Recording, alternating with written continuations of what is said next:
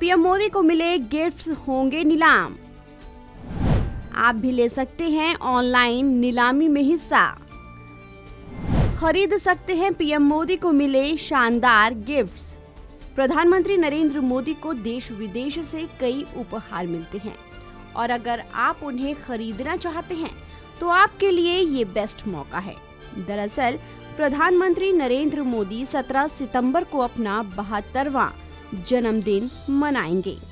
PM Modi के जन्मदिन पर पिछले साल की तरह इस बार भी एक विशेष आयोजन किया जा रहा है। आम लोग, खेल और राजनीतिक नेताओं समेत अलग अलग क्षेत्रों के लोगों से प्रधानमंत्री नरेंद्र मोदी को मिले 1200 गिफ्ट्स को नीलाम किया जाएगा। गिफ्ट्स नीलामी से जो भी पैसा इकट्ठा होगा, उसे नमामि गंगे प्रोजेक्ट के लिए दान किया जाएगा। ऑनलाइन होने वाली इस नीलामी में कोई भी शख्स हिस्सा ले सकता है।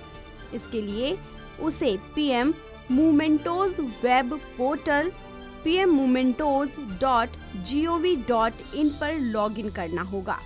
17 सितंबर, यानी प्रधानमंत्री के जन्म दिवस पर शुरू हो रही ये नीलामी महात्मा गांधी के जन्मदिन 2 अक्टूबर तक जारी रहेगी।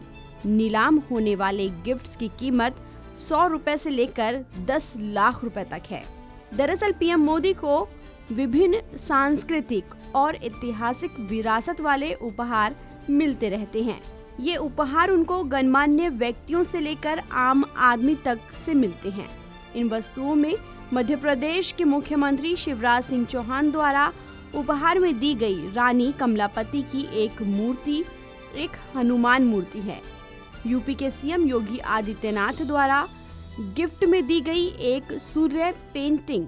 तो हिमाचल प्रदेश के मुख्यमंत्री जयराम ठाकुर का गिफ्ट किया गया। त्रिशूल भी नीलामी वाले पोर्टल पर है। महाराष्ट्र के डिप्टी सीएम अजीत पवार ने कोल्हापुर की देवी महालक्ष्मी की एक प्रतिमा भेंट की थी। उसे भी नीलाम किया जाएगा। आंध्र प्रदेश के मुख्यमंत्री जगन मोहन रेड्डी की ओर से उपहार में दी गई भगवान वेंकटेश्वर की प्रतिमा को भी श्रद्धालु ले सकते हैं। प्रधानमंत्री के जन्मदिन को खास बनाने के लिए पीएम मोदी की गिफ्ट की ऑनलाइन नीलामी पहली बार नहीं हो रही है, बल्कि पिछले तीन साल से पीएम मोदी के जन्मदिन पर गिफ्टों की नीलामी होती है। सबसे पहली बार नीलामी जनवरी 2019 में की गई थी। हर साल 17 सितंबर को नीलामी शुरू होती है। इसमें पीएम मोदी को मिले गिफ्ट को नीलाम किया जाता है। इससे मिली धनराशि को नमामि गंगे प्रोजेक्ट के लिए दान किया जाता है। ये चौथा मौका है, जब पीएम मोदी के गिफ्ट्स की नीलामी हो रही है।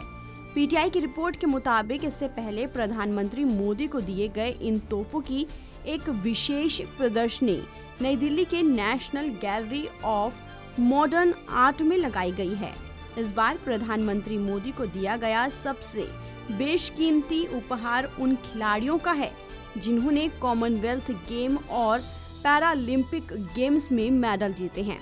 फ़िलहाल इस खबर में इतना ही। देश और दुनिया की तमाम खबरों के लिए आप बने रहिए वन इंडिया, हिंदी के साथ।